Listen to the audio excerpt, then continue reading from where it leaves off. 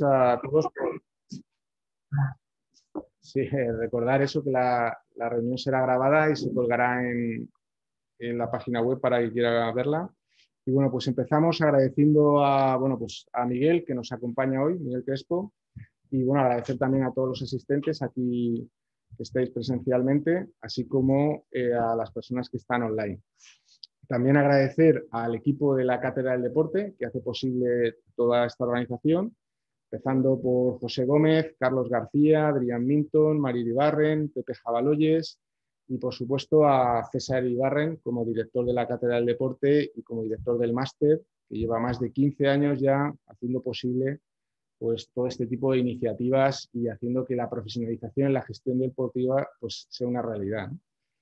Bien, eh, como sabéis ya, la Cátedra del Deporte lleva haciendo esta webinar desde hace muchos meses. Han pasado muchísimas personas vinculadas al mundo deportivo y realmente lo que pretendemos siempre en la cátedra, y vamos repitiendo en cada una de las sesiones, es que sea un foro donde todos los contenidos sirvan de utilidad, es decir, las personas que están viniendo, que nos están acompañando, pues realmente aportan su conocimiento, su experiencia y sobre todo nos dan una visión de lo que está sucediendo en su campo en, estos momentos. También sirve para ayudar a la profesionalización, que bueno, pues al final el deporte cada vez está más profesionalizado en, todos los sectores donde, donde vamos viendo que, realmente eh, pues esa profesionalización cada vez es más importante y por eso se necesita personas que bueno, estén formadas, como vosotros, los que estéis aquí presentes, y luego también queremos ofrecer una visión global, que hoy sobre todo Miguel yo creo que nos va a dar esa visión global eh, desde el punto de vista del tenis. Él trabaja a, nivel mundial ¿no? con, todos los continentes y realmente bueno, pues tiene una percepción muy clara de cómo está evolucionando eh, todo el sector del tenis en estos momentos. ¿no? Es, es, muy importante y yo creo que, que va a ser muy interesante su exposición. Y bueno, pues eh, únicamente comentar también, aparte de, esta visión general, pues un poco también eh, ver un poco esa globalización del deporte, que también en estos momentos, pues realmente desde la pandemia, pues se ha visto que se ha acelerado muchísimo, ¿no? Con la, la introducción de las nuevas tecnologías, con el intercambio e interacción de personas de muy diversa índole y en este caso, bueno, pues a través de Miguel nos va a dar un poco esa visión de cómo se ha ido transformando todo y qué perspectivas hay a corto plazo, ¿vale? Que es verdad que todos vivimos con una incertidumbre muy grande, ¿no? De qué pasará ahora cuando pues, la vacuna avance y podamos salir, ¿no? Todos estamos esperando a ver cómo realmente vamos a, a vivir. Entonces, bueno, sin más, eh, os paso a presentar a Miguel Crespo, que es el ponente que tenemos hoy. Miguel es responsable de participación y educación del Departamento de Integridad y Desarrollo de la Federación Internacional de Tenis. Durante más de 20 años ha desempeñado este cargo y se ha encargado de elaborar programas de formación, participación, ha dirigido cursos, ha escrito bueno, pues más de 20 libros, más de 100 artículos, ha organizado conferencias, ha coordinado investigaciones y bueno, pues todo lo que tiene que ver con la formación en el tenis. Es una de las personas que, que realmente yo además lo, considero pues, eh, bueno, pues un, referente ¿no? en el ámbito del deporte aquí en, en Valencia y, sobre todo en el tenis. Miguel también aparte es doctorado en Derecho, en Psicología y tiene un MBA y una licenciatura en Filología. Está acreditado también por la NECA como profesor de distintas universidades, en también ha dado clase en multitud de másters y aquí lleva dando clase también más de 10 años. Es uno de los profesores que también más tiempo lleva en el, en el máster de gestión deportiva de la cátedra. También es tesorero en la International Council for Coach Excellence y miembro de la Junta Directiva del European, European eh, Coaching Council.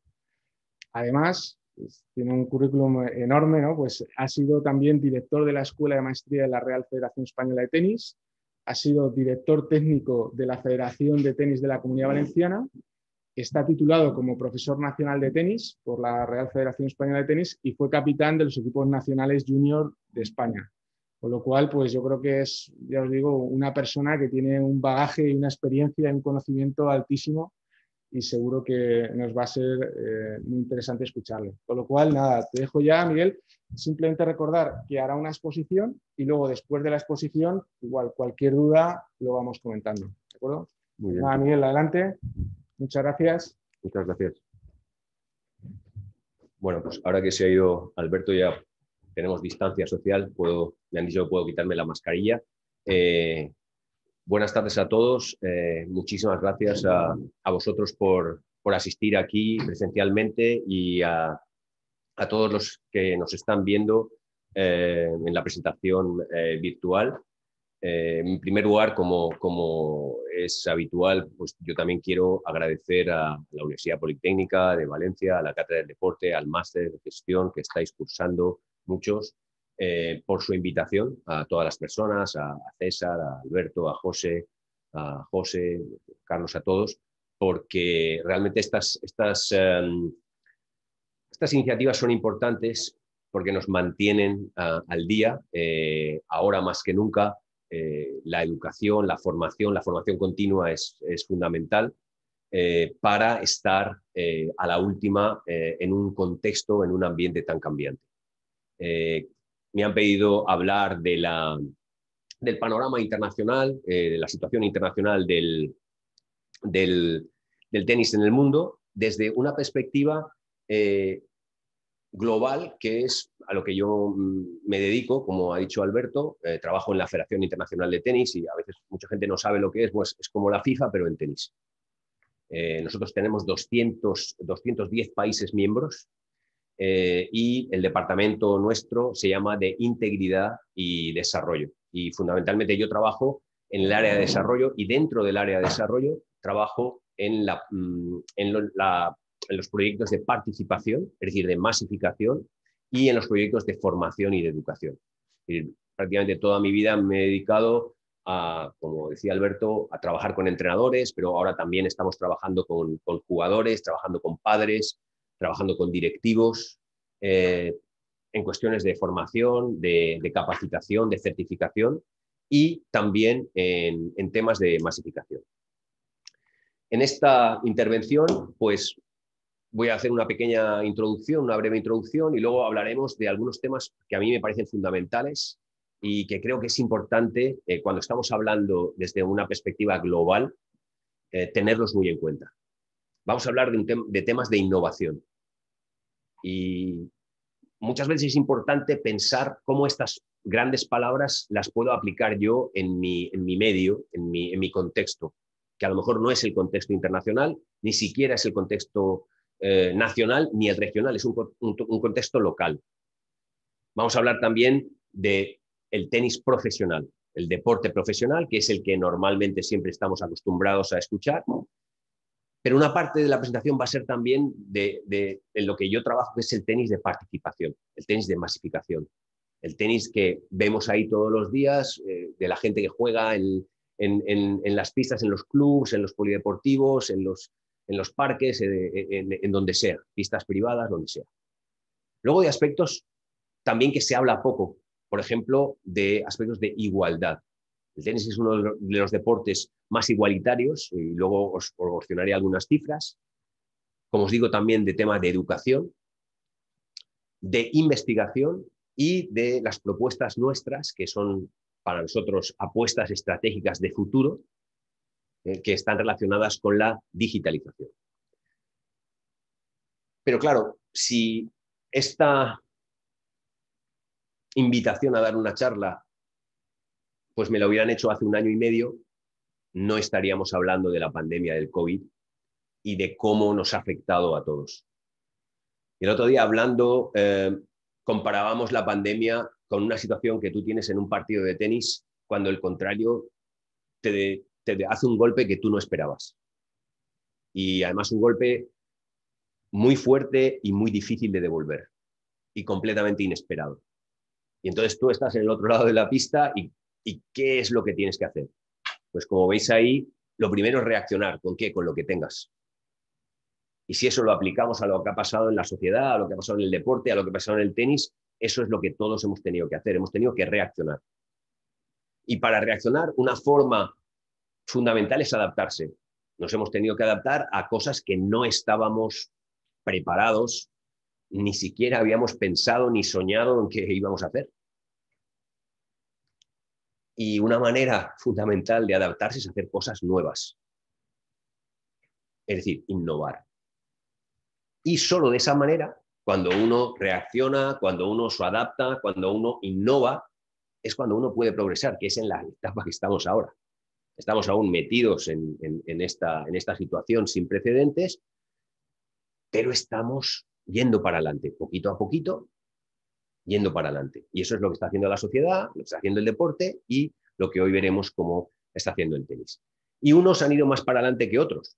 Mm, ha habido gente, de hecho esta semana y la anterior han pasado dos cosas en el tenis, eh, en el ámbito local, muy interesantes. No sé si sabéis que Carlos Alcaraz, que es un, jugador que, que, es una de las grandes promesas del tenis, pues ha entrado entre los 100 mejores. Y es, la verdad es una noticia tremenda, ¿no? porque desde, el desde, desde la, época de Nadal no teníamos esta noticia, pero ahora os pongo este vídeo, si lo podemos, si podemos ver, no sé si, no sé si eh, habéis visto esto y no sé si sabéis de, quién se trata aquí. Pero estamos hablando casi de un veterano, eh, que es Pablo Andújar contra otro veterano que es y, y aquí resulta que Andújar tuvo la, victoria de su vida. ¿eh? de hecho, alguien decía que por lo menos le podrá contar a los nietos que le ganó a Federer.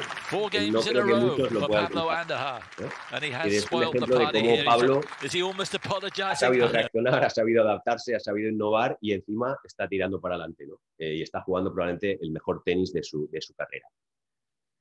Y así, el, tenis ha tenido que adaptarse de una manera prácticamente que hasta hemos tenido que limpiar cada pelota que jugábamos. ¿eh? que limpiar cada pelota que jugamos para asegurar las medidas, de, las medidas sanitarias y, para, para, asegurar una práctica eh, saludable. ¿no? Y de hecho, de hecho, se han tenido hasta que jugar eh, torneos del Grand Slam, que sabéis que son los cuatro torneos, el Roland Garros, Australia, Wimbledon y el Open de Estados Unidos. Esta es, esta es una foto de una prueba de silla de ruedas del Open de Estados Unidos con el estadio, el Louis Armstrong, completamente vacío. De hecho, más gente en la pista que en las gradas si cuentas a los jueces de silla y a todo el mundo. Y hoy estamos hablando en la comida lo duro que es para un jugador profesional jugar con un estadio cerrado, ¿no? Vacío. Porque te, mm, estamos comentando, los jugadores juegan para el público, juegan para ellos, pero también juegan para el público. Y, es, y eso ha sido duro, pero ha habido que hacer burbujas, ha habido que hacer unos esfuerzos tremendos. Estamos hablando con organizadores de torneos del esfuerzo que supone, porque los jugadores viajan de un lado a otro del mundo eh, ya digo, no solo en el tenis, sino en otros deportes, pero el tenis en este caso, el tenis profesional, se ha, adaptado.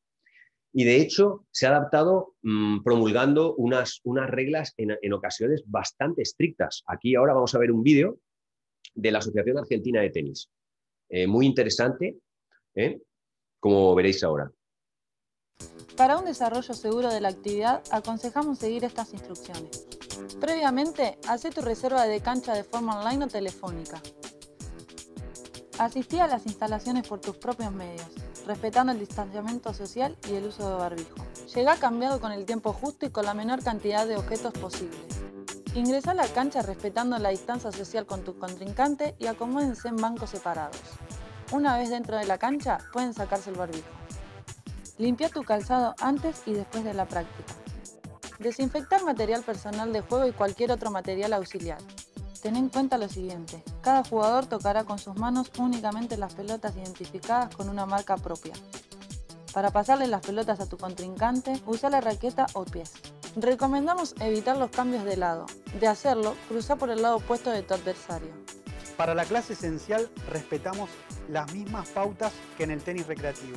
Esta deberá ser de uno o dos alumnos con un profesor o profesora. Una vez finalizado el juego, higienizate las manos, la raqueta y colocate el barbijo antes de retirarte. Ante cualquier síntoma de COVID-19, comunícate con la autoridad competente. Recordá que no se gana ni se pierde ningún partido durante este tiempo. Simplemente se trata de volver a hacer algo que amamos.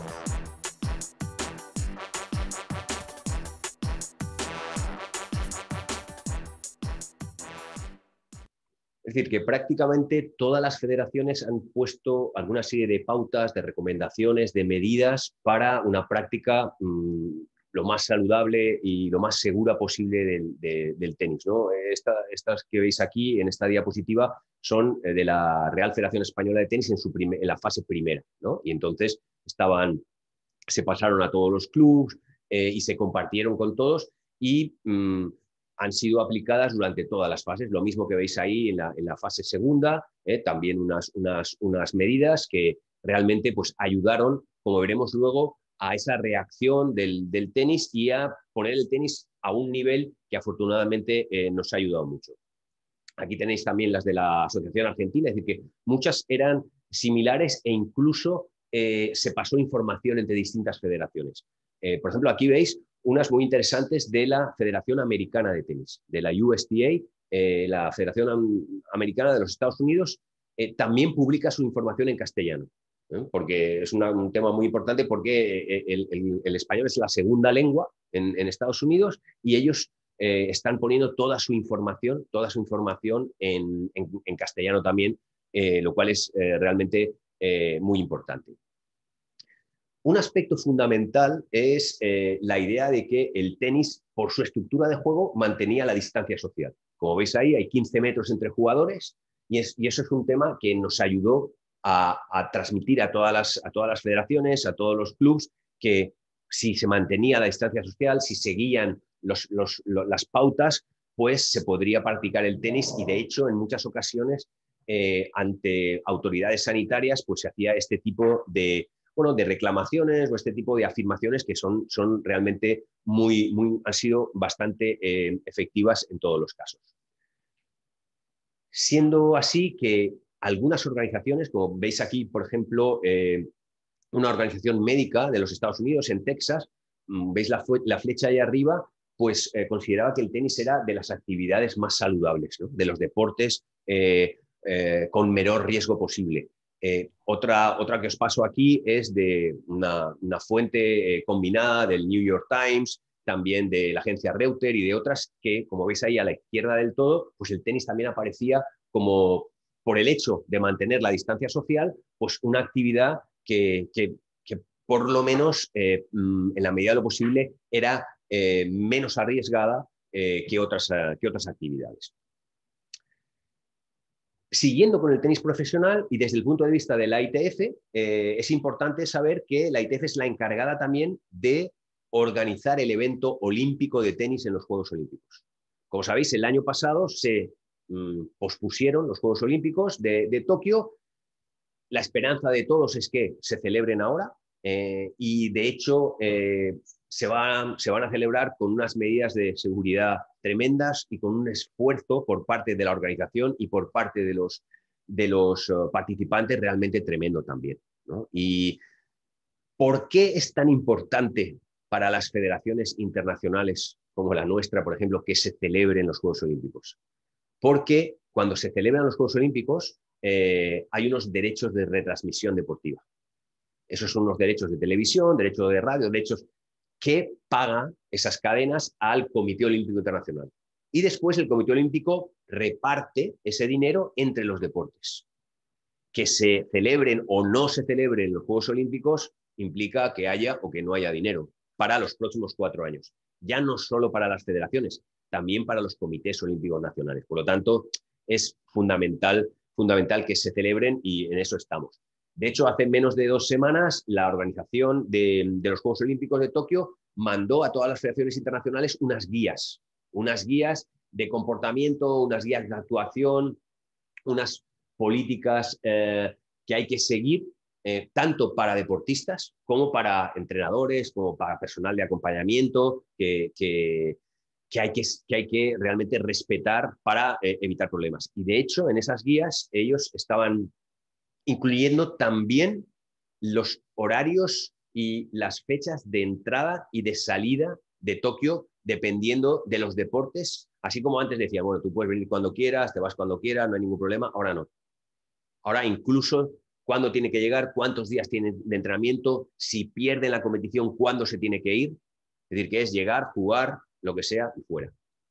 va a ser un reto muy grande, pero es la única manera que hay que de verdad se, celebren los Juegos que son tan importantes para, para, muchos deportes y para muchos deportistas. Imaginemos deportistas están cuatro años preparándose para los Juegos, el año pasado se los cancelan un año más y, esperemos que, se, que celebre. Siguiendo con el tenis profesional, pues el segundo evento más importante para, para, la ITF es la Copa Davis. Como sabéis, eh, hace dos años se celebró en Madrid con el nuevo formato y ganó, ganó España. El año pasado se, se suspendió la edición y este año está previsto que se celebre de nuevo. Que se celebre de nuevo con algunos cambios, sobre todo en sede, porque mm, hay dos sedes, además de Madrid, está Innsbruck y está Turín. Eh, hay seis grupos, como veis ahí. Mm, primero se juega formato liga, luego se juega formato, formato eliminatoria y los vencedores se juntan luego todos en Madrid. De esta forma, lo que se hace es que pues, se favorece primero que haya más público y también se favorece que los horarios no se alarguen tanto como se alargaron en la primera edición. De nuevo va a ser un reto porque va a haber tres sedes, eh, tres países diferentes, los jugadores van a tener que viajar de un lado para otro, pero esperemos que para las fechas eh, que son eh, entre noviembre y diciembre, pues la situación haya mejorado considerablemente y bueno, digamos que tenemos, bueno, estamos confiados en que se, en que se pueda, en que se pueda, en que se pueda hacer. Otro aspecto importante es una competición que ya existía, que era la, la mm, Fed Cup y ahora se llama la Billie Jean King Cup. Y, en este caso ha sido un ejemplo de innovación porque ha unido fuerzas con esta, con esta eh, empresa eh, de videojuegos que se llama Tennis Clash y os, he puesto este vídeo para que veáis cómo, eh, se plantea.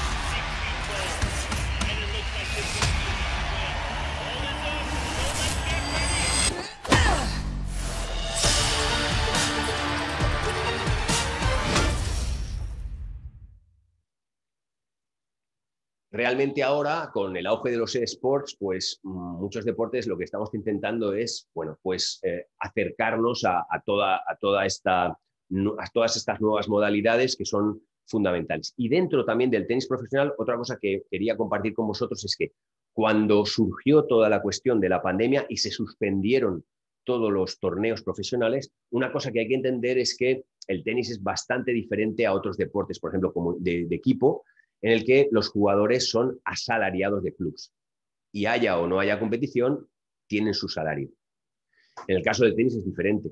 Eh, los jugadores son, digamos, autónomos y los jugadores lo que hacen es que ganan dinero por los contratos que puedan tener de publicidad, de patrocinio, de lo que sea, y también ganan, eh, ganan dinero por los resultados que tienen las competiciones. Si no hay competiciones, no ganan dinero.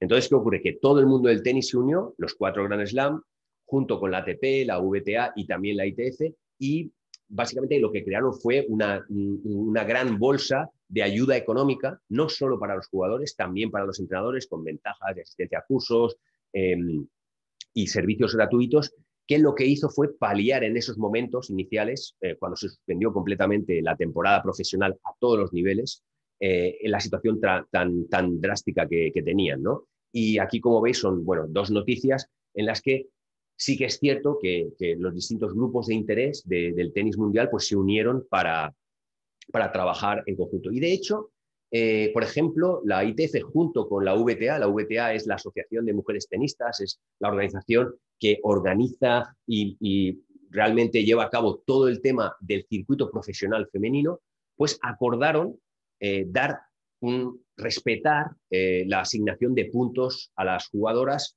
debido a la, situación de COVID. Y eso es algo muy importante porque supuso una protección en el, ranking, en la clasificación. Pues claro, si no juegas, pues normalmente eh, los jugadores pues, bajan de ranking. Entonces, esto fue un tema muy interesante que ayudó mucho, ayudó mucho a, que, las, a que las jugadoras tuvieran más confianza en lo que tenía que venir. Os he copiado esto también porque me parece muy interesante. Aquí veis una, es una, tabla en, la que aparecen las distintas, em, los distintos test de antidopaje desde el año 2008 que ha hecho la ITF. La ITF se encarga de hacer los test antidopaje eh, en el tenis profesional masculino y femenino y también en silla de ruedas. Y como veis, eh, han ido subiendo gradualmente hasta 2019 y en 2019, pues eh, obviamente se observa un bajón básicamente porque se suspendió la temporada. ahora, en, en 2000 En 2021 está volviendo a, se están volviendo a jugar partidos y por lo tanto está volviendo a haber, a haber controles antidopaje, pero eh, esto es un claro ejemplo de cómo la eh, competición profesional se vio, se vio afectada. A un nivel ligeramente inferior, también hablando de profesionales, hablamos de lo que se llama el circuito de futuros, o también el circuito de challengers. son los torneos que están justo, justo por debajo eh, de, los, de los torneos del ATP Tour o del, del, del, VTA Tour o incluso los torneos de Grand Slam o la Copa Davis, etc. Y en el año 2020 aún se pudieron organizar unos cuantos torneos, como por ejemplo ahí veis un país como Túnez que pudo organizar un número considerable de torneos. Hubo jugadores que son jugadores que normalmente están empezando sus primeras etapas eh, profesionales y, en este caso ahí veis la foto de Carlos Alcaraz, que eh, en, aquel tiempo, hace, hace un año y medio, estaba, estaba jugando este tipo de torneos y realmente de los 500 torneos masculinos y 500 torneos femeninos que se organizan al año en todo el mundo, se pudieron organizar alrededor de unos 150 aproximadamente. Es decir, que el, golpe fue duro, pero gradualmente eh, se han ido organizando cada vez más y ahí veis en esta infografía eh, la situación en, aquel, en, aquella, en aquella Hemos hablado de tenis profesional, vamos a hablar ahora eh, de, participación, de desarrollo, de promoción, de tenis de masa. No sé si alguien puede reconocer dónde es eso. ¿Qué ciudad es? No tan, no, tan cerca. Eso es Buenos Aires. Y lo que está al fondo es el obelisco. ¿eh? Y entonces esto es, una, esto es un ejemplo de, cómo nosotros en, en, colaboración, por ejemplo, con la Asociación Argentina de Tenis, en este caso, pues hacemos programas de llevar el tenis a la calle. ¿eh? Es digamos, pues una, un programa fundamental, un aspecto muy importante de, eh, cómo para nosotros es fundamental pues, eh, fomentar eh, el desarrollo, la participación y el tenis, y el tenis de masas. Y quiero compartir con vosotros ahora un vídeo porque yo hace seis años, cuando yo trabajaba en educación y hace seis años empezamos con, con la cuestión de participación y tuvimos una reunión con el responsable de marketing de la Federación Internacional de Tenis. Y yo le pregunté, mm, ¿tú crees que nos puedes ayudar a que haya más gente que juega al tenis en el mundo? Y él me dijo, bueno, ¿cuánta gente juega al tenis en el mundo? Y yo dije, pues mira, pues la verdad es que no, no lo sabemos. Y, me dijo, ¿y más o menos cuántas pistas de tenis hay en el mundo? Y yo, pues mira, ese dato tampoco lo tengo. dice, ¿y entrenadores más o menos sabéis cuántos hay? Digo, pues fíjate que eso tampoco. Y entonces yo le dije, ¿y y nos podrás ayudar. Y el tío dijo, pues fíjate que no te lo podré decir. Entonces, claro, fue una lección de decir, si yo no sé de dónde parto, si no sé lo que tengo, eh, ¿cómo puedo pedir ayuda? Y los que a lo mejor me puedan ayudar, ¿en qué me van a ayudar? Si no sé nada. Afortunadamente ahora ya sabemos cosas y ahora os las compartiré, pero antes me gustaría enseñaros este vídeo que, para, que, para que veáis que obviamente es bastante diferente al que hemos visto eh, antes de, eh, al, que, hemos visto antes de Federer y Pablo Andújar. Eh, estos chicos están jugando en una pista de tenis, sí, es una pista de tenis y tiene red ahí al final, eh, porque la hemos enviado nosotros, y en un país africano que igual a lo mejor vosotros ni lo habéis escuchado. Se llama Eswatini. Si lo buscan en internet, está en el sur de África. Eh, y es uno de los 150 países que nosotros ayudamos con material, con raquetas, con pelotas, etc. Lo que os decía yo antes de cuando hablábamos de cuánta gente, pues afortunadamente ahora sabemos cuánta gente hay en el mundo. Sabemos que hay alrededor de unos 87 millones de jugadores de tenis en todo el mundo. ¿Vale? Entonces, por lo menos ya tenemos una idea de cuántos hay, ¿eh? ya nos podemos comparar con otros deportes y ya sabemos eh, si necesitamos hacer un, digamos, tener una visión de, lo que queremos hacer en los próximos años, de una estrategia de futuro, como luego os comentaré, pues la podemos hacer también, ¿no? Pero además tenemos datos muy importantes que nos, nos informan nuestra estrategia. Es este, por ejemplo.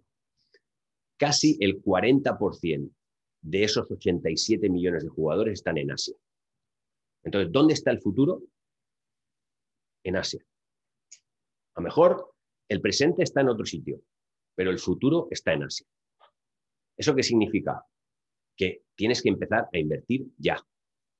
No puedes esperarte. Tienes que empezar a invertir ya y de hecho en eso estamos haciendo. Pero hay otros datos muy importantes. Por ejemplo, este.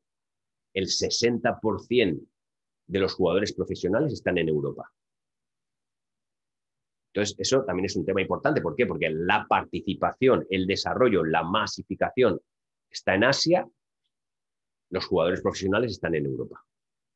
Entonces, nosotros como Federación Internacional tenemos que ver exactamente de manera estratégica, pues, cuáles son las directrices para ver de qué manera afrontamos el reto de ayudar a Asia, pero también eh, no dejar abandonados a otros continentes y también intentar que haya más jugadores profesionales en otras partes del mundo.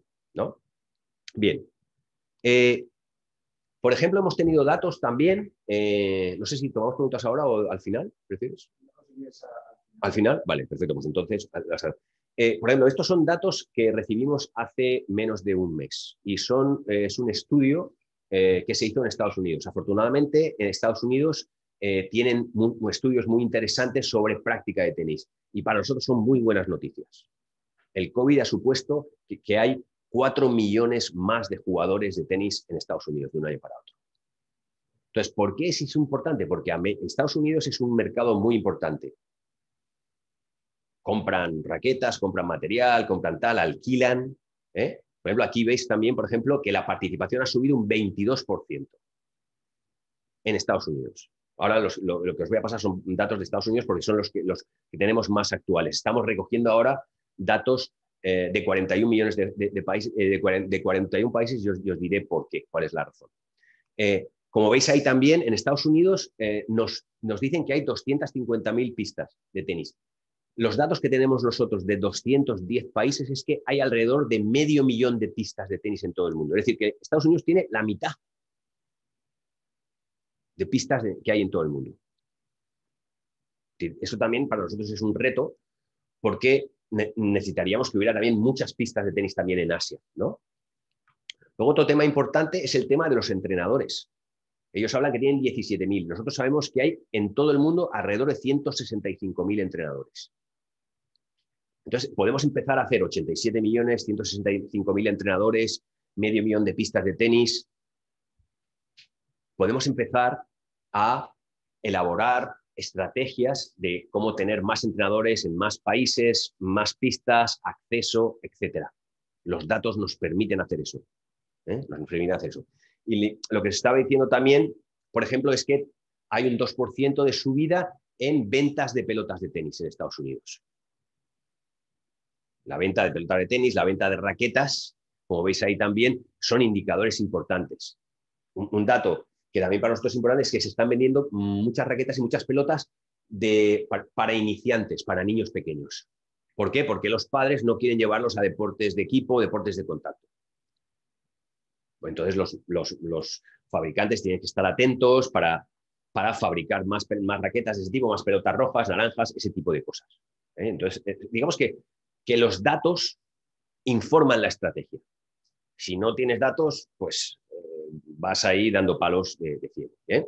Y luego tema de fans, por ejemplo, que es un tema muy importante, de aficionados, ¿no? de, visitas, cómo crece, ¿eh? es algo que realmente, pues, eh, incluso en tiempo de, COVID, pues ha habido, ha, habido este, este, este repunte. Os comparto aquí unos datos de Canadá, que también llegaron después de los de Estados Unidos. Canadá también nos, nos, nos ha, como veis ahí, un incremento en el número de raquetas vendidas comparado con años anteriores. Buenas noticias también porque Canadá es un mercado bastante relevante. ¿Cuál es nuestro reto? Tener datos de mercados que son muy importantes para nosotros, pero no, no están acostumbrados a tomar los datos. Por ejemplo, China, por ejemplo, Brasil, por ejemplo, la India. No tienen una cultura de toma de datos. Ahora estamos tomando datos de 41 países porque hay otra cosa que hemos averiguado que es muy importante para nosotros. De esos 87 millones de jugadores, ¿eh? esos 87 millones de jugadores, el 99% vienen de 40 países. Y hemos dicho que hay 210 países en el mundo. Entonces, obviamente, tenemos un, tenemos un reto de distribución. Tenemos un reto de distribución. Bien. Es decir, que como conclusión, sí que podemos decir que ha habido un boom del, tenis eh, en la participación durante este tiempo de COVID. Y no lo decimos nosotros, este es un artículo de la revista Forbes que han tomado datos y habla de Estados Unidos, habla de Canadá, o él ha hecho Bruce Lee. ¿eh? Entonces, bueno, es un tema importante. Pero también en España. Yo os doy una visión internacional, pero he encontrado esta noticia de España, del tenis madrileño, es decir, que sí que parece que, que también, y, hablando con colegas, hablando con directores de, de, clubs, hablando con, directivos, sí, sí que parece que hay, que hay una, digamos, una, una mayor afluencia a las escuelas de tenis, a las pistas, etc. Hemos hablado de participación y ahora vamos a hablar de igualdad. No sé si habéis visto esta película. Si no la habéis visto, os la recomiendo, porque va de tenis. Y es una película histórica. La, persona que está a la izquierda, eh, la chica, eh, que es una actriz muy conocida, ella hace eh, el papel de una gran leyenda del tenis mundial, que se llama Billie Jenkins. Y Steve Carell, que es el de That's What She Said, pues hace el papel de un jugador veterano que se llamaba Bobby Riggs. Y en los años 70 se apostaron, apostaron a que eh, ella le ganaba a él. Y esa es la película. Y básicamente eso que fue, eso fue un aldabonazo tremendo para la igualdad en el deporte en general y en tenis en particular. Porque Billie Jean King es una activista eh, de igualdad en el deporte, en el tenis, y es, una, es una película realmente muy interesante. Y con la figura de Billie Jean King, la Federación Internacional de Tenis, por ejemplo, ha lanzado una estrategia que se llama Advantage All, ventaja para todos, eh, en la que está haciendo programas de liderazgo para, para mujeres directivas y también para entrenadoras, eh, para que accedan a posiciones de mayor responsabilidad y también, por ejemplo, estudios como este, que habla de la calidad, de la calidad de cómo se trata eh, el género eh, en, los medios de comunicación, y sobre todo aplicados al tenis. Es decir, que hay, una, hay un trabajo importante ahora, una atención muy, muy, muy importante eh, en todo el tema de lo que es la igualdad. Y como os decía yo antes, otro dato que tenemos de esta encuesta de participación es que de los 87 millones de jugadores de tenis que hay en todo el mundo, el 45% son mujeres. Y eso no hemos encontrado otra estadística de otro deporte que sea tan igualitario. Pensad en, otro deporte y casi todos los deportes se van hacia un lado o hacia otro. Si piensas en gimnasia rítmica, es algo obvio, y si piensas a lo mejor, no sé, en rugby o esto, pues también es algo obvio. Es decir, que también es una ventaja que nosotros tenemos, pero no nos tenemos que dormir en los laureles y tenemos que seguir trabajando. Bien, otro aspecto es la educación. Eh, la pandemia ha supuesto un boom en la educación y en el caso del tenis tuvimos a muchos entrenadores en casa sin saber qué hacer. Y afortunadamente nosotros en ese momento estábamos implementando una plataforma, una plataforma de formación, de educación y eh, lo que hicimos fue ponerla gratuitamente al servicio de los entrenadores. Y aquí hay un vídeo en el que explica más o menos cómo es la, eh, la plataforma porque da formación a entrenadores eh, y también a padres, también a jugadores y también a directivos. En este momento está en cinco lenguas, tenemos más de 150 cursos disponibles, son todos muy cortos en formato TED, formato TED, ¿eh? y además la verdad es que eh, ahora, en estos, en estos momentos, aquí hay otro vídeo ahora que podemos ver también con más detalle, tenemos unos 150.000 eh, usuarios, de los cuales unos 50.000 están registrados. Y entonces veis ahí, vais a ver un poco ahí las distintas partes que tiene la, plataforma. Es una plataforma gratuita. Se llama ITF Academy. Todo el que esté interesado puede entrar, puede registrarse, puede empezar a hacer los cursos. Cada curso son 20 minutos y te da un diploma. ¿Y por qué? Lo estábamos hablando de la comida. Nosotros antes teníamos una página web que resulta que poníamos presentaciones de una hora y la gente a los cinco minutos se apagaba y se iba. Ahora tenemos cursos de 20 minutos y la gente los acaba. Son cursos interactivos, preguntas-respuestas muy fáciles, no están hechas para suspender, están hechas para informar, para educar, el que quiera, para certificar educarse o para hacer formación. Y es algo muy importante, como digo, para padres, para jugadores también.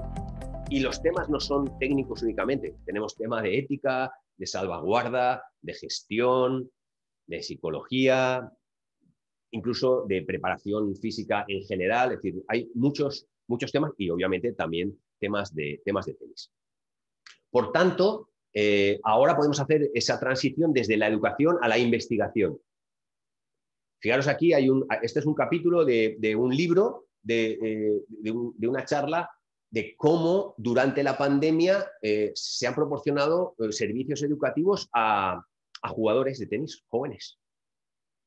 Es decir, que también la pandemia lo que ha traído es un gran volumen de estudios y de investigación, que es un, que es un tema realmente eh, pues muy, muy importante. Aquí, por ejemplo, veis dos, eh, ejemplos eh, de artículos mm, sobre tenis profesional y la pandemia. los de la izquierda. El de arriba de la derecha es sobre jugadores amateurs y el de abajo es uno que nosotros hicimos sobre entrenadores y COVID. Y eso está publicado, el, el nuestro, hace menos de dos semanas. Es decir, que realmente sí que se ve que hay actividad también desde la investigación y eso nos está ayudando mucho a saber más qué les ha pasado a los deportistas durante la COVID, qué les ha pasado a los entrenadores, qué es lo que están haciendo. Es decir, hay realmente unas, bueno, pues unas perspectivas de investigación muy interesantes.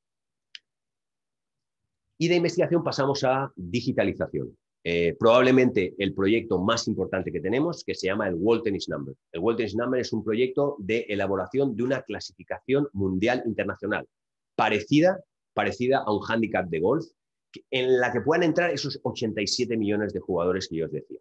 ¿eh? Entonces vamos a ver un vídeo en castellano que, eh, en el que se explica más o menos qué, qué es este World Tennis Number.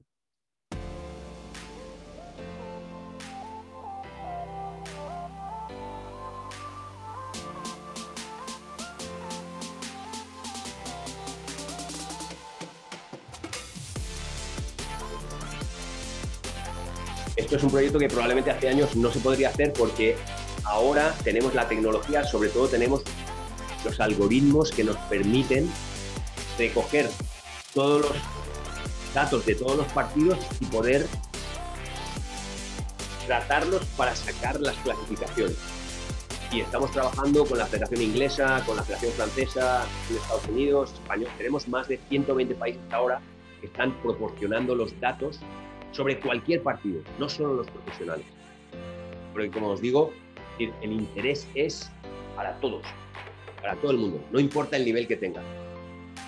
También es una herramienta gratuita, con acceso a web, app, y es un ejemplo de, bueno, de digitalización, de innovación, de aprovechar la COVID para, para intentar avanzar en programas que era realmente eh, un reto para nosotros y, por eso eh, pues creo que es interesante compartirlo para que veáis pues, cuáles son nuestras estrategias de futuro, qué es lo que, qué es lo que estamos ahora eh, ocupados y qué es lo que realmente necesitamos eh, pues seguir progresando y sacar para adelante. Cooperamos con empresas, por ejemplo, aquí hay una que tiene un, sistema de, seguimiento de, los partidos en tu móvil, con, los datos, te cantas si la pelota está dentro o fuera y es simplemente un móvil. No necesita ni cámara, ni historia, ni nada. Pones el móvil en la valla detrás y te lo saca. Es gratuita además. O sea que es que las cosas van. Pero yo creo que ahora, eh, y lo he dejado para el final adrede, ahora viene lo mejor por lo menos lo que a mí más me gusta. Eh, y mirad, eh, os voy a compartir algunas digitalización e innovación, algunas cosas que están haciendo algunas federaciones, por ejemplo, la Federación Australiana de Tenis. Tenis Australia para mí eh, es la federación puntera en innovación. durante el año pasado sacaron ese sistema que es durante las retransmisiones de partidos, ellos intentan saber cuál es el estado de ánimo de los jugadores. Claro, no pueden poner un micrófono, no pueden parar y preguntarle. Entonces, ¿qué hacen? Desarrollaron un algoritmo de seguimiento de las emociones a los jugadores. Y básicamente se trata de esto. Este es el vídeo, vamos a verlo ahora.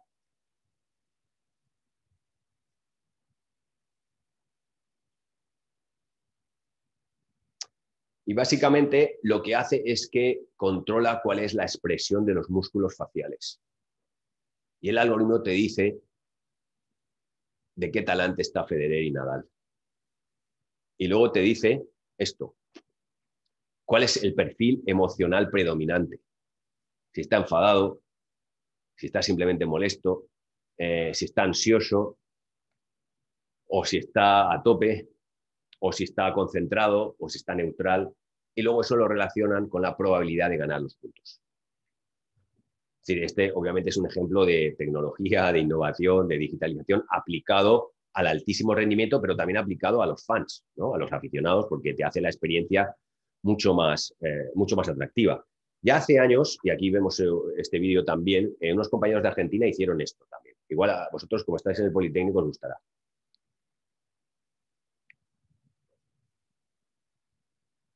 Entonces, lo que ocurre aquí es que, obviamente, pues te, proporciona una cantidad de datos tremenda, ¿no? que hasta puede llegar a la parálisis por análisis, pero puedes, ver que exactamente pues, la tecnología pues ahora prácticamente puede hacer eh, casi, casi todo. Y fijaros, si puede hacer casi todo, que hasta da miedo. Esto es lo último que también ha sacado Tenis Australia, que es la predicción de los golpes del tenis. ¿Qué significa? Significa que mm, el vídeo, mediante inteligencia artificial y algoritmos, etcétera, predice dónde va a botar la pelota antes de que bote. Entonces ahí tenemos un vídeo también que lo vamos a ver. Y eso es lo que hace. Hay una cuadrícula, lo veis en este lado, y en rojo es donde la máquina piensa que va a botar la pelota. ¿Vale? A veces se equivoca y otras veces acierta. ¿Qué es lo que está pasando? Que cada vez acierta más. ¿Por qué? Porque va aprendiendo, ¿no? Va aprendiendo. Y en eso es lo que también pues, están trabajando, y, es decir, es una forma pues obviamente de utilizar la tecnología y la digitalización al servicio de, pues de, los aficionados, de los deportistas. Eh, pero eh, probablemente a mí eh, la innovación que más me interesa es esta última que quiero compartiros. es un vídeo, no es muy largo, está, está en inglés, pero como creo que todos entendéis, y ya veréis de lo que, de, de lo que trata habla de que más de medio millón de australianos tienen problemas de oído, de, de, de vista, perdón. Blindness or low vision. They face challenges participating in many of the things we take for granted, like watching live sport. No pueden Morris Gleason is sitting in front of a large window of greenery.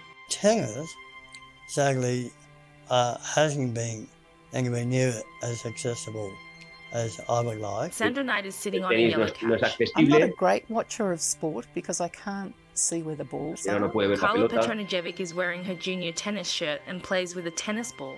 She is sitting with her mother Yelena. So my dad has to commentate for me. And he finds it tiring sometimes because I can't see who's serving or the ball or the points. Vale, tiene que decir lo que pasa en el partido a la nena porque la nena no puede ver la pelota. struggle, I must say. Y este dice que le gusta el But, tenis pero que no, you no lo puede ver. I've got to tolerate it and, and Lo tiene que live tolerar. Until something else comes out. espera que venga In 2021, Tennis Australia, Monash University, and AKQA came Y esta es la together to develop a new way to improve access to the Australian Open for people with visual impairments. El objetivo es Melanie Huang, lead hacer, designer, hacer AKQA is disfrutaran sitting del Open de. Australia We found a way using ball tracking technology to create a new experience of sport that's accessible for everyone. Entonces Chad utilizaron el, Tagonku, tra- research el, el fellow, Hawkeye, Monash ¿no? el ojo de University, halcón. standing que outside. eso lo We use. Hawkeye data for our system, and uh, what we get from Hawkeye is the 3D position of the ball and the players during the gameplay. Tú ves lo que te da Hawkeye, Hawkeye los jugadores, la pelota, the ball being si está in. dentro, si está Tim fuera y por Devine, qué lado le pegan, Creative cómo le Director pegan. AKQA stands in front of a maroon wall. and we take that data and we turn it into 3D audio. What Lo we pasan call a audio en action 3D. audio. Action Audio logo animates in. Action audio contains a wealth of information for blind and low vision sport fans to understand what's going on on the court, from ball position,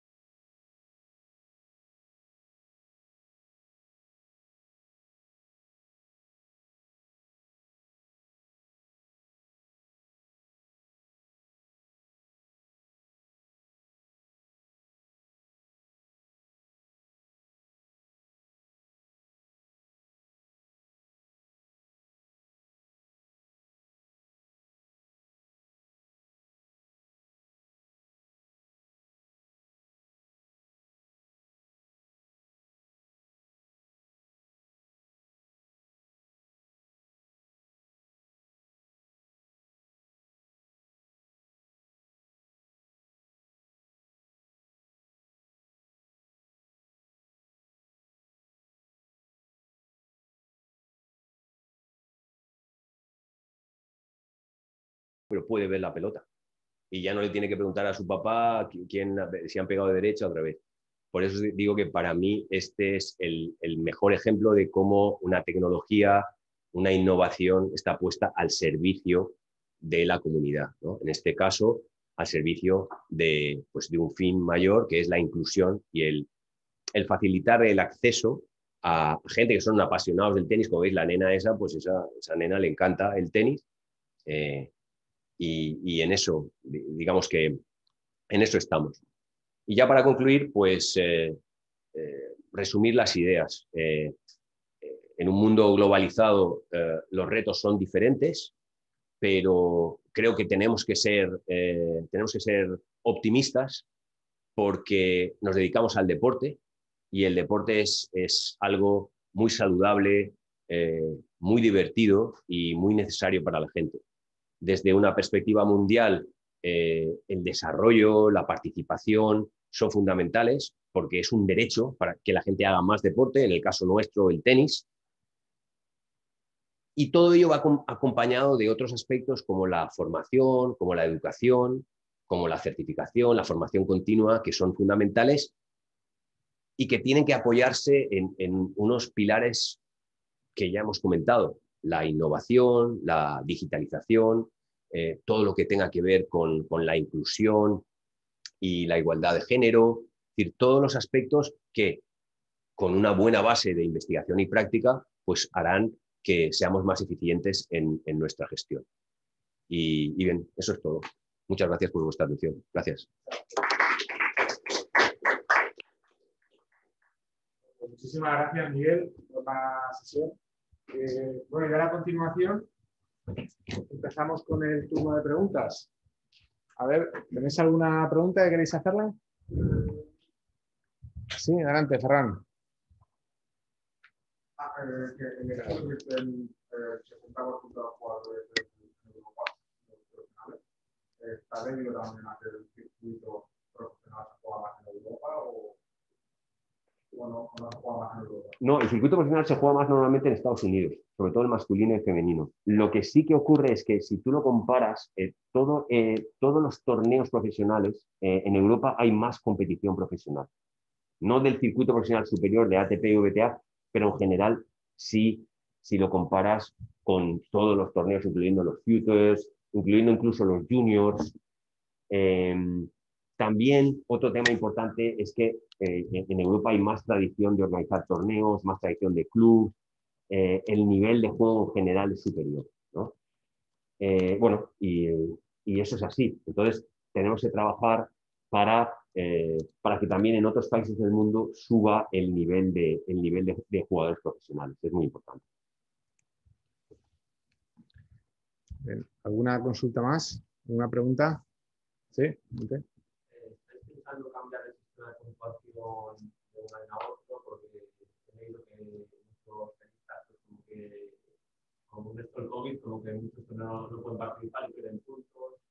de un a. Pero tú estás hablando a lo mejor del ranking ATP VTA. Bueno, no sé exactamente eh, las intenciones del ATP. Lo que sí que sé es, como hablábamos antes con la VTA, es que ha habido rankings eh, adaptados por el tema del COVID. Eso sí que, sí que ha habido. Y obviamente, eh, bueno, eh, está claro que eh, no os olvidéis que la ATP y la VTA, las decisiones que se toman, hay un consejo, hay una parte que son los torneos y otra parte es el consejo de jugadores. Es decir, que los jugadores, es un sindicato de jugadores. Es decir, que ahí tienen, su, ahí tienen también su, digamos, su opinión. Entonces yo creo que estoy, estoy seguro que cualquier medida, de hecho nosotros hemos tenido entrevistas con ellos para proteger eh, todo este aspecto con los jugadores, seguro que la estarán estudiando. Sí, antes, ¿Cuáles crees que serían los pilares básicos eh, que una persona esté un club de debería centrarse para una mejora del club? Sobre todo el club a lo mejor un poco más pequeño. ¿no?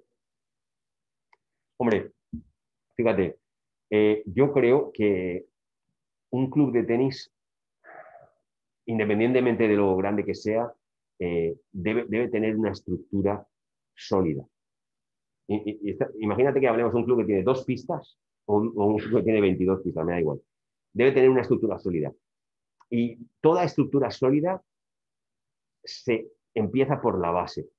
Por lo tanto, tú necesitas una buena escuela de base, una buena escuela de tenis de base, que ofrezca buenas clases, buenas clases en el sentido de que algunas veces tú vas a un club y dices, ¿cuántos niños tienes en la escuela? Y te dice, bueno, pues tenemos 50 niños. Oye, qué bien, perfecto. Vas al año siguiente, ¿qué tal? 25. Algo ha pasado ahí. O vas al año siguiente y dices, 150. Algo ha pasado ahí. Y eso es así. Entonces tú tienes que tener una escuela de tenis de base, de base, que sea una escuela que enseñe bien, pero ya no diría que enseñe bien el tema, el tema técnico de tenis, que la gente, eso es fundamental, sino que haga socios para el futuro. Por ejemplo, hace muchos años, cuando no había tanta oferta fuera de clubs, de determinados clubs, muchos de nosotros que jugábamos al tenis pasábamos el día entero, entero en el club de tenis, entero, desde las 8 de la mañana hasta las 8 de la tarde. No estaban las 12 horas jugando al tenis, hacías de todo, de todo. Entonces, eso ya se ha perdido. Por eso la escuela de tenis tiene que ofrecer algo más. Te voy a poner un ejemplo. Yo tengo un, tengo un amigo, muy amigo, que hace unos años eh, se dio cuenta que él tenía una escuela de tardes y que los padres venían y decían, oye, mira, no puedo traer al niño a la escuela porque tiene colegio, eh, tiene, tiene exámenes, tiene clase particular y tal. Entonces no puede venir. Y otro, y otro, y otro. ¿Sabéis lo que hizo? Contrató profesores particulares en, el club. Entonces decían, no te preocupes, tu hijo da una clase de tenis de una hora y luego ahí, ahí tienes el profesor particular. Y no lo pagaba él, lo pagaba el padre. Pero traía al profesor particular al club. Entonces no hay excusa. Yo te, yo te hago el servicio. Es lo mismo que si tú, en, si tú en, lugar de solo ofrecer clase de tenis, das más cosas. Por ejemplo, campus de verano, con natación, con inglés, con todo lo que sea. Por lo tanto, tener una escuela, una escuela de base, para mí es muy importante. Y luego, en la medida de lo posible, ofrecer servicios a los socios que haya siempre una combinación de aspectos deportivos y de aspectos lúdicos. No todo es jugar al tenis. La parte lúdica, la parte social, en muchos casos, es muy importante. Hace unos años eh, tuvimos una reunión con el director de un club en Oxford, en Inglaterra.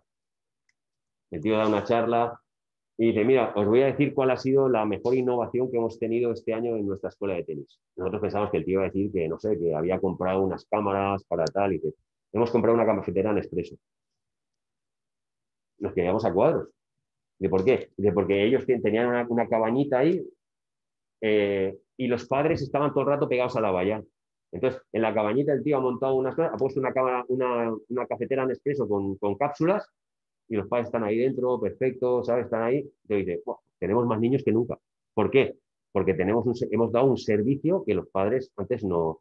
Entonces, a veces cosas como que no son necesariamente de tenis son fundamentales un buen restaurante, un buen tal, eh, temas sociales, eso también es fundamental. Pero yo te diría, desde un punto de vista técnico, lo básico para mí es una escuela de base que sea, que sea sólida y que cumpla bien su función, tanto técnica como social. ¿Alguna consulta más tenéis aquí en el aula? Sí, adelante. El, nuevo ranking eh, es el mismo que no. El UTR es una empresa privada. Y esto, esto es de todas las federaciones. El UTR es una empresa privada americana que está funcionando sobre todo en los Estados Unidos y en el tema de, de universidades americanas. Esto esto es un proyecto que estamos haciendo con las federaciones, con más de 120 federaciones y que, como os decía, yo creo que son, son ahora como unos 60 millones de jugadores los que están, los están ahí metidos. Es decir, que el nuestro es, digamos, un proyecto más de participación, pero queremos incluir a todos los jugadores, ¿no? Pero la propiedad, la propiedad es propiedad de las federaciones, ¿no? No es una empresa privada. De los, de los jugadores que ha visto que hay en el mundo, que, se considera un jugador de tenis.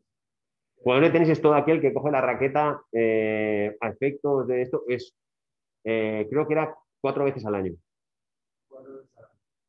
De todas maneras, también eh, en todo eso estamos mejorando, porque hasta ahora no había datos. Ahora, ahora por ejemplo, estamos en, los últimos, en las últimas fases de recoger datos de esos 41 países que son los que tienen el 99% de la población y les hemos dicho, porque claro, tú ahora me puedes decir, ¿y qué se consigue una pista de tenis? ¿Una pista polideportiva? ¿Es una pista de tenis o no? Entonces ahí hay mucha...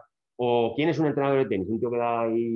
Entonces, todos esos aspectos los hemos definido mucho más, pero de todas formas, hay por ejemplo otro dato que nos he dicho y que a nosotros nos, nos quita el sueño, y es que de, de esos 87 millones de jugadores, eh, realmente de nombres y apellidos conocemos a menos del 4% o 5%.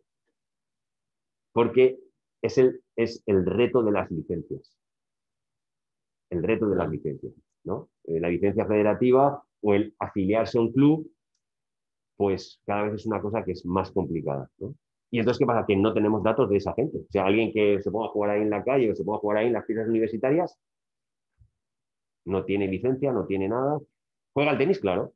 Compra raquetas en Decaldón o de Bas, come las zapatillas. Es un consumidor de tenis. Entonces, el reto nuestro es llegar a toda esa gente. Llegar a la gente que no, en estos momentos no, digamos que no, no. Y por ejemplo, el World Tennis Number es una, una opción para eso. No. Claro.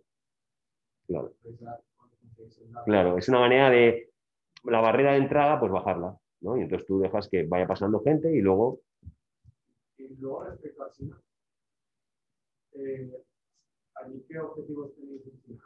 ¿Que se masifique el tenis, que juegue más gente o que saquéis más jugadores profesionales a circuito internacional o? Bueno, nosotros el, primer objetivo era intentar enseñar al tenis a todos los chinos en la misma pista, pero vimos que no podía ser, no, no entrábamos. Eh, entonces digo, no, ese objetivo no puede ser. No, siempre los objetivos son dobles, ¿no? El, objetivo es tener mejores jugadores.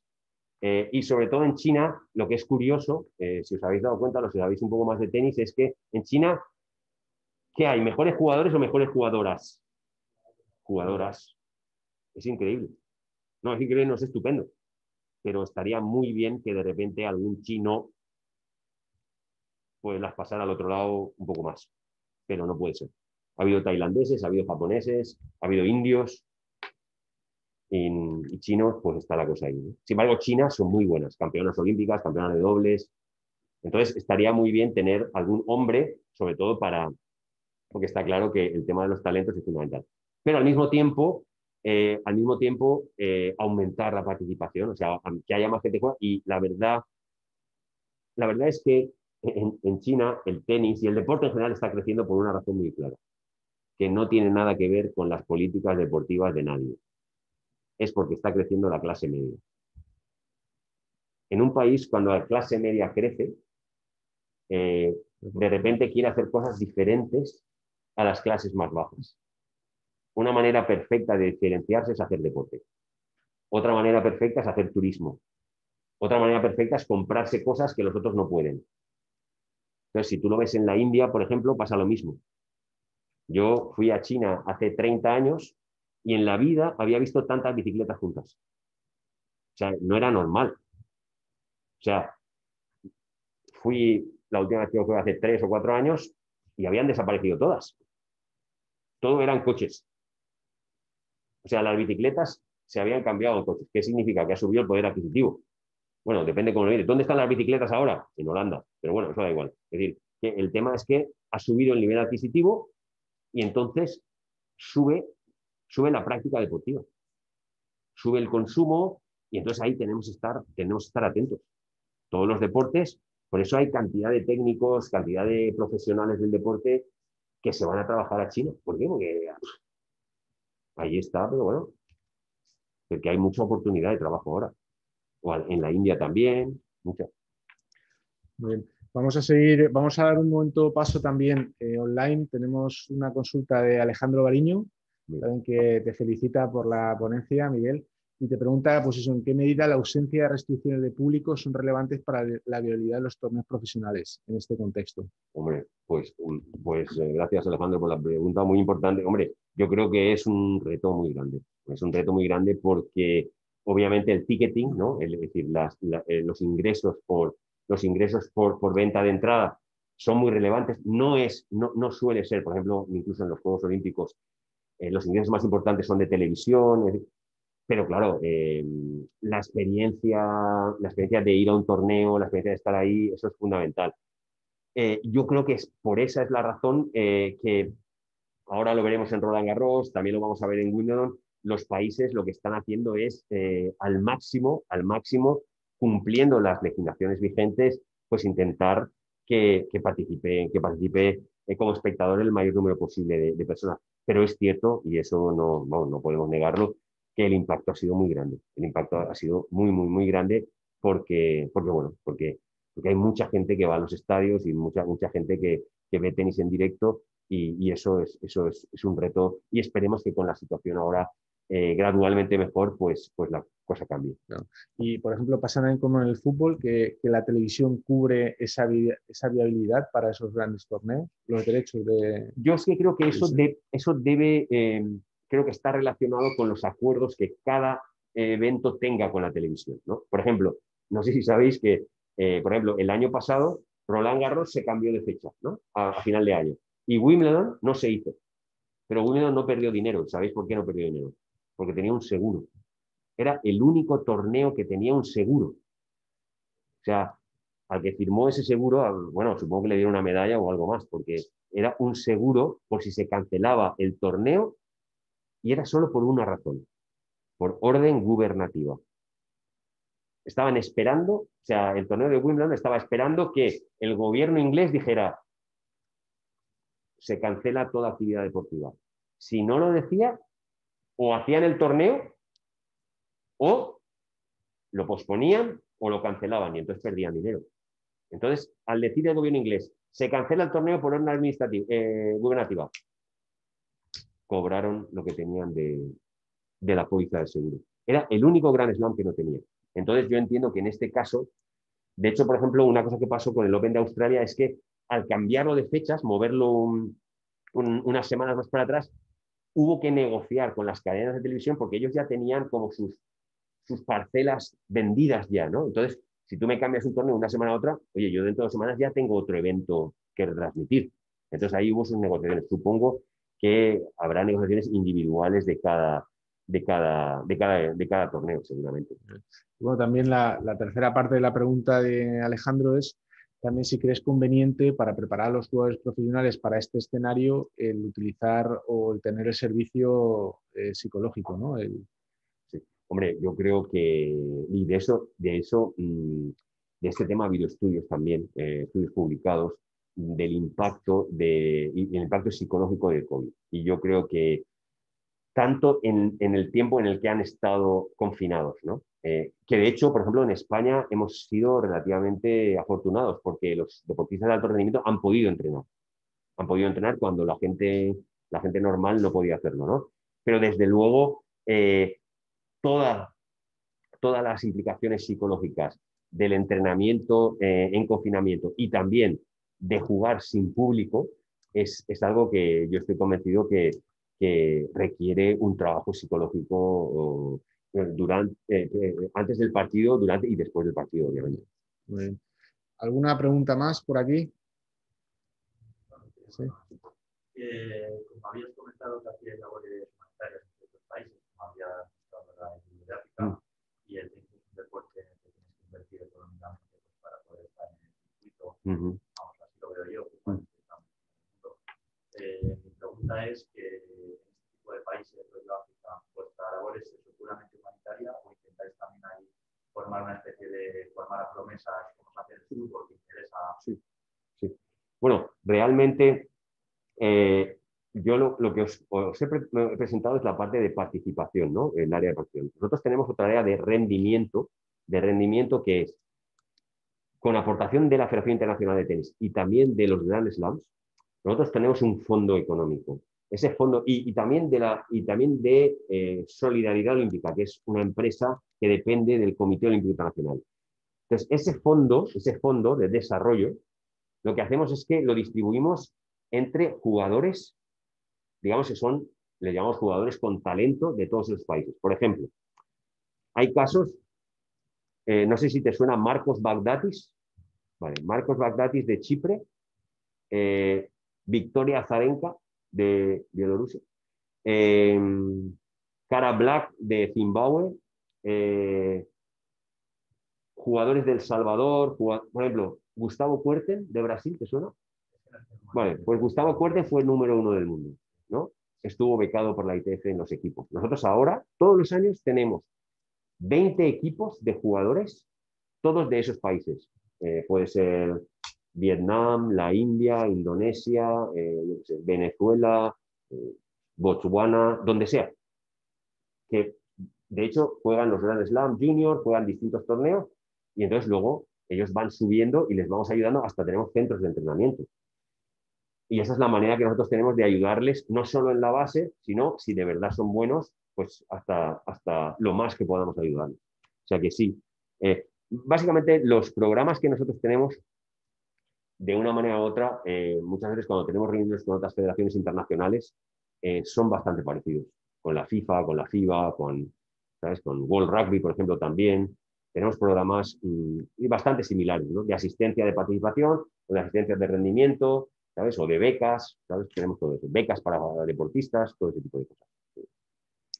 Una pregunta también de una de las personas que está online, de Alberto Egea. Te felicita también por la exposición, Miguel, y te pregunta si el aumento que ha habido de número de practicantes, eh, ¿crees que ha sido, eh, o sea, crees que se, se va a, a mantener eh, o se va a consolidar con el número de licencias y después de, de, que pase la pandemia? Bueno, esa es la pregunta del millón. Ojalá, ojalá. Ese es el reto que tenemos, ¿no? Es decir, que, que ahora ha aumentado el número de practicantes, entonces tenemos que trabajar muy, muy intensamente con entrenadores, con clubs, para que esa oferta se mantenga y que la gente, eh, la gente siga en el, en el tenis y lo vea como, como una actividad que puedan, que puedan seguir. Yo creo que ahora eh, el reto es nuestro, que la pelota está a nuestro lado y, y, vamos a intentar gestionarlo lo mejor posible, pero ojalá sea así. Y una consulta, Daniel, y además viendo un poco tu trayectoria, que has apostado tanto por la formación, tanto a nivel eh, propia como a la hora de, de, expresarla, ¿cómo ves desde el punto de vista de las personas que se están formando ahora en gestión deportiva, dónde ves más oportunidades dentro del sector del, del tenis, que tienes una visión muy global a nivel internacional? Fíjate, yo, mm, yo creo que la gestión, la gestión eh, en general, la gestión del tenis, incluso yo creo que la gestión de la participación, es que hay mucha gente que, que quiere dedicarse al alto rendimiento y el alto rendimiento no hay, es alto, pero es poco. Hay poca gente que se dedique a eso. ¿no? Entonces, eh, hay, hay más oportunidades en la base, hay más oportunidades en la gestión de clubes, hay más oportunidades en, en, en la gestión de los programas de masificación, por lo menos así lo, así lo, lo entiendo yo. Y además, hay más futuro, porque, por ejemplo, cada vez más la población va a ser mayor de edad y va a estar ahí eh, necesitada de actividades deportivas. Entonces, yo, yo, creo que ahí hay, una, hay tremendas oportunidades de trabajo o en empresas que uno mismo monte de servicios deportivos, por ejemplo, a gente, a gente, de, a gente jubilada, por ejemplo. Que a gente me dice, oye, no, es que a mí me hubiera gustado alto rendimiento.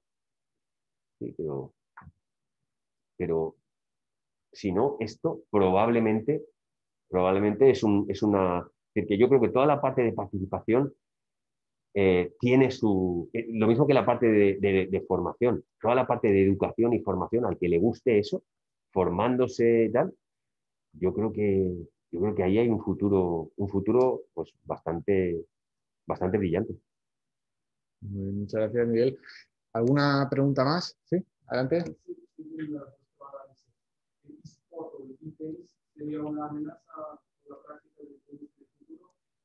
Yo no. Yo, yo no creo que, yo, yo creo que tienen, en estas situaciones tú, tú tienes que tener la, mente abierta. No tienes que pensar en amenazas. ¿Sabes? Yo creo que tú tienes que pensar en oportunidades. ¿no? Tú tienes que pensar en, en cómo, cómo eso que es tan moderno, tan atractivo, tan importante, me puede ayudar a mí a crecer. Me parece muy bien que también crezca el tenis o que crezcan otros, el pádel. o- ¿Cómo puedo crecer yo también? Eh, si tú, si tú estás ahí mirando, "Ay, ¿qué va a pasar? ¿Qué va a pasar?", Al final te vas a quedar parado. O sea, tú tienes que, mm, es muy importante y además es algo que no, no se puede detener, va para adelante. Y, y encima lo que tienes que hacer es intentar ver cómo puedes incorporarlo a, a tu proyecto estratégico. Eso es lo importante. No, no tenerle miedo, sino va- vamos, a, vamos a hablar, vamos a ver cómo podemos trabajar juntos y vamos a ver cómo podemos ganar los dos.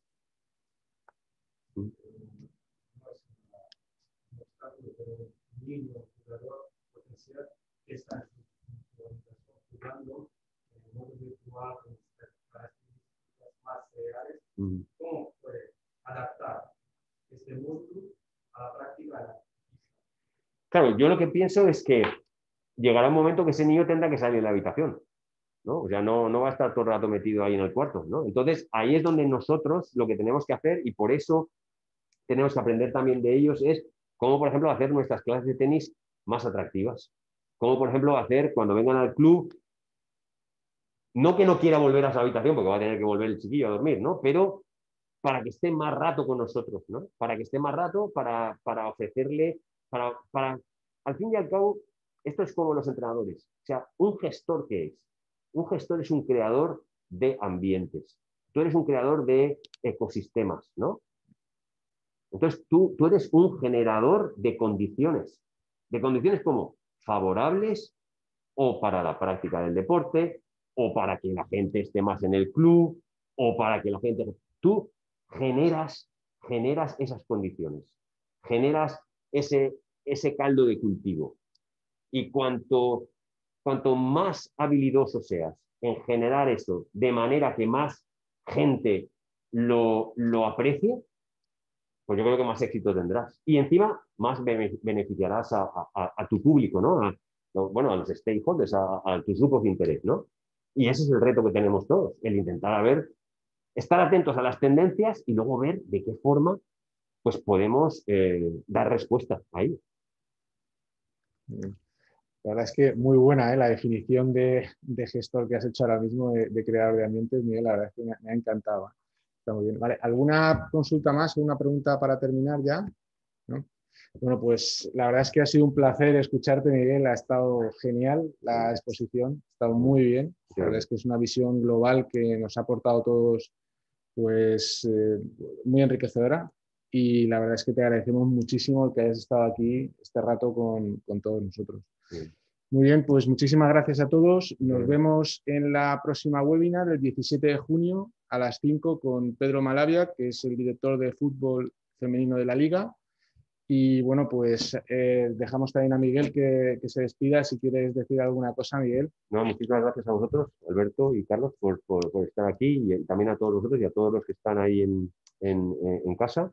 Y nada, eh, seguir eh, pues agradeciéndoos vuestra presencia y sobre todo motivándonos a seguir estudiando, seguir trabajando y seguir dedicándose al deporte, que yo creo que es algo que, que todos amamos y que tenemos una pasión por, por ese, pues, ese servicio a los demás para que, para que practiquen deporte, que es lo que nos interesa a todos. Así que muchísimas gracias a todos. Muchas gracias a todos. Muy bien. Pues muchas gracias.